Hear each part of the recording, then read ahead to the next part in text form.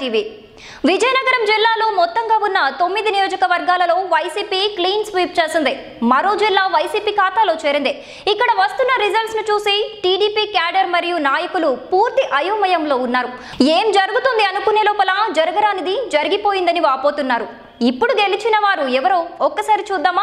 కురుపం ఎస్టీలో పాముల పుష్ప శ్రీవాణి పార్వతీపురం ఎస్సీలో ఏ జోగరావు సాలూర్ ఎస్టీలో రాజన్న దొరపి బొబ్బిలిలో ఎస్ వెంకట చిన్న అప్పలనాయుడు చీపుర్పల్లిలో బొత్స సత్యనారాయణ గజపతి నగరంలో బొత్స అప్పల నరసయ్య నెల్లిమర్ల బి అప్పలనాయుడు విజయనగరం కొలగట్ల వీరభద్రస్వామి శృంగవరపుకోట కె శ్రీనివాస్. ఈ వీడియో గనుక మీకు నచ్చినట్లయితే మా ఛానల్ని లైక్ చేయండి షేర్ చేయండి సబ్స్క్రైబ్ చేయండి.